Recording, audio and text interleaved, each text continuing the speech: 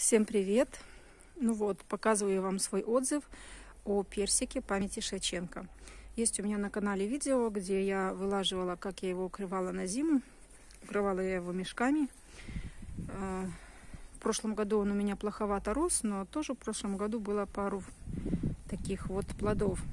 И вот один плод у меня уже упал. Три мы скушали.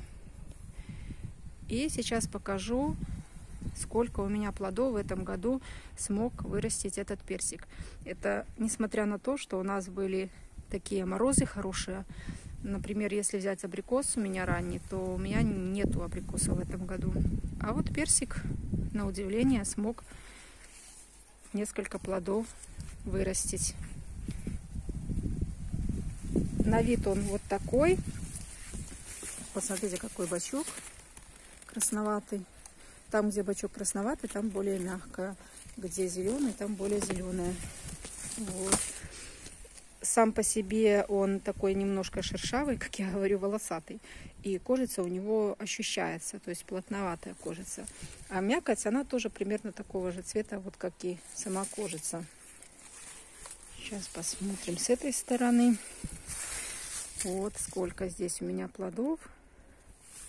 Смотрите, какие красавчики. Эх, что-то уже, наверное, клюнуло. Вот. Вот. Очень вкусный. Пахнет. Главное, что пахнет персиками. Вот тоже два плода. И вот. Вот один, вот второй. Так, еще вот здесь вот внизу у меня два, три плодика. Раз, два. И вот третий. Вот он. Вообще получается, что созревает этот персик, начинает он созревать где-то вот середины, может, числа 10 мы, получается, да, мы пару дней назад сорвали три плода, скушали, вот один упал, и вот уже на подходе еще. Я думаю, что к концу августа здесь уже ничего не останется. Так что этот сорт вполне себе можно выращивать в нашем регионе, Беларусь, Гомельская область. И он такой довольно-таки зимостойкий.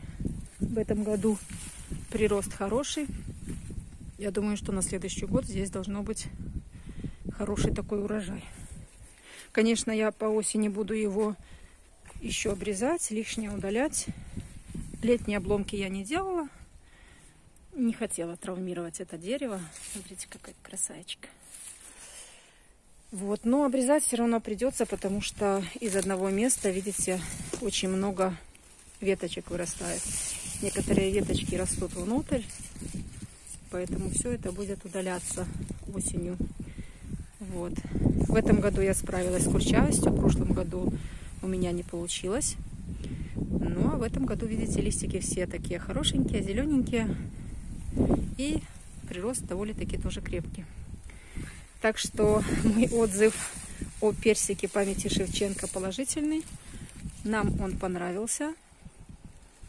Можете себе его выращивать. Такой и не ранний сорт, и не поздний. А мы хотим еще себе купить, посадить ранний сорт, если, конечно, найдем. Посадили мы себе еще нектарин, но с нектарином у нас пока беда. То у нас саженец оказался обыкновенный, непривитый, то у нас вымерзло все, и там непонятно какая веточка растет, невозможно понять, что это вообще. Поэтому с нектаринами у нас пока беда.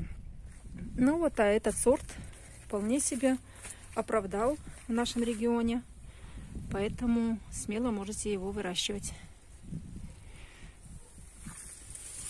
Еще раз покажу вам свою красоту. Вот, вот так они выглядят. Плоды на ветках предыдущего года. Вот. Эти тоже уже такие вот-вот-вот на подходе. Еще чуть-чуть и мы их тоже сорвем и скушаем. Если у вас есть какие-то сорта, которые вы выращиваете в нашем Беларуси у нас, и они у вас хорошо растут, напишите, пожалуйста, в комментариях, чтобы можно было понять вообще, какие еще сорта можно садить. Вот я с вами делюсь вот таким вот своим отзывом про персик памяти Шевченко. Он у нас действительно может расти, плоды крупненькие, что не характерно. Например, я мало где видела, чтобы кто-то выращивал персики, и они вырастали такими вот до таких размеров.